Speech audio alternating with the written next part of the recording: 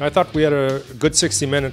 You know, I, I thought our, our, four lines and, and, our six Ds played uh, solid from start to finish. You know, we're got a lot of young guys in the lineup playing against a veteran team, and um, I like the way that uh, we stuck to the game plan. And, and um, you know, guys played for each other, and they were challenged physically at times. And, and I, I thought uh, everybody stepped their game up.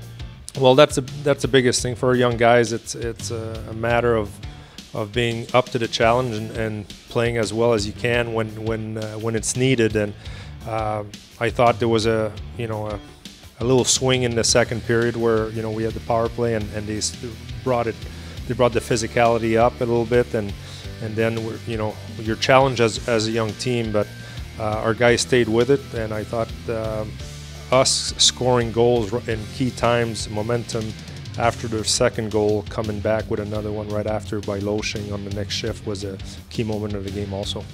Yeah, I thought we had energy from the start. Um, we played a good game overall. I think we uh, were in their zone mostly for the whole game.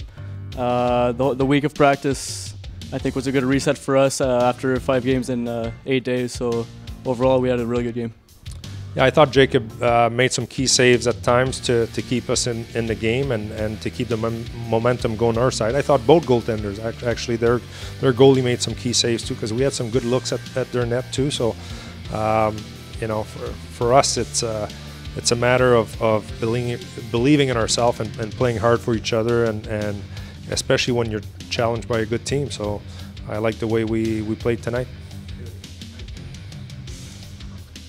Yeah, we have a great group this year. Um, I think all four lines are uh, are playing well. Uh, key for us is really stick to the systems, uh, play hard.